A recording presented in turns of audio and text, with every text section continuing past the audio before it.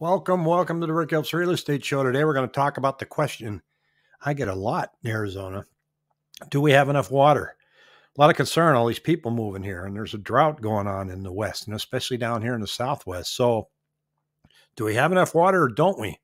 So, we're going to look at a few things because it's interesting out there. Because right here you can see that Arizona water supply issues continue. Staff in the Bureau of Reclamation and Upper Divisions states are working closely with the lower division states, tribes, and other federal agencies and NGOs to complete a 2022 drought response operation plan. Well, where do we get our water? We get our water from way up here in Lake Powell, right on the Arizona Utah border. Taking a look at this from Google Earth, you can see the as the rivers populate down here. This dam was built uh, 50 years ago Lake Powell's not only a good source of water, but it's a great recreation site as well. Well, it used to be. And the water goes from Colorado, from the Rocky Mountains, from uh, Utah and Colorado, and flows into this lake. And there's a dam there, and there's a uh, power generator on that dam. Goes down here through the Grand Canyon. Once again, there's another dam over here on Lake Mead, just by Las Vegas and it flows from there down the Colorado River, which is our border between us, Nevada, and California. And by the time it gets to Yuma, it's nothing but a dry riverbed.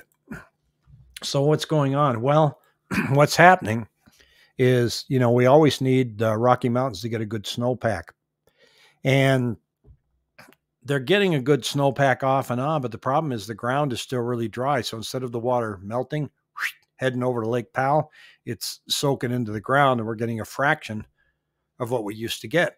Lake Powell is so low that when you look at some of the satellite images here, you can see that it just dwindling, dwindling, dwindling away. You'll see this yellow line come up, and that's where the water level used to be. And you can look and see where it is right now. And then the water level is getting so low that right now they're saying that we're just within a few feet of not being able to turn the turbines in the dam that generates electricity for up to 5 million people.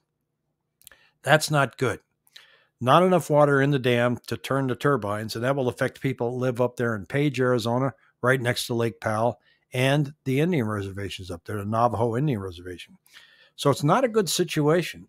now, there's other parts of the state in the outlying areas like Prescott, Pine, and Strawberry up in the mountains in uh, the White Mountains up in Arizona, where the groundwater's dissipated to where people's wells are running dry.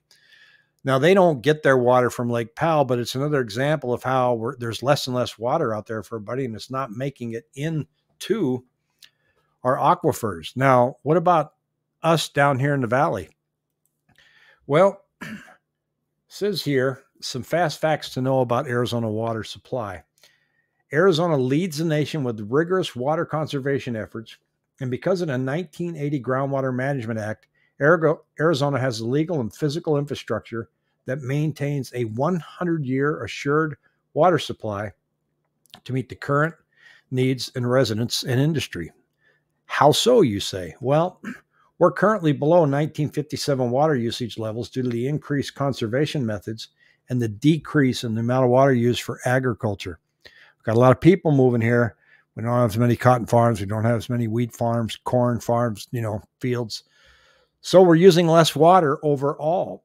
we have five times more water stored than we use and has never met, uh, updated, mandated municipal or re- residential restrictions on uses throughout our state's history. That remains to be seen if that's going to happen. I realize we haven't issued any mandates, but uh, you know, on Monday, August 16, 2021, U.S. officials declared the first ever water shortage from the Colorado River, which will call, cause Arizona to take an 18% cut this year. But it follows up and says this will not impact municipal or residential uses. Arizona has the junior water position along the Colorado River, and that's been the case since 1968 when the Central Arizona Project was authorized. Because of our long-standing position, we've been prepared for decades and implemented long term planning and solutions. So, we're about to see our first cut. They're going to want us to cut back for 18% because there's no water coming down to Colorado. It gets really desperate around June and starts to increase a little bit around July when we start seeing these monsoon rains hitting up by the Grand Canyon, puts more water in the river, but uh, there's going to be a little bit of a problem in getting that dam to operate perhaps before we get those uh, monsoon storms to populate the lake. Something to think about. Um, is this discouraging people from moving to Arizona? Well, according to that, we're using less water down here in the valley. Thinking about going to Prescott, thinking about going to Pine, Strawberry, the Payson area, yeah, you may want to look very closely at what their water situation is.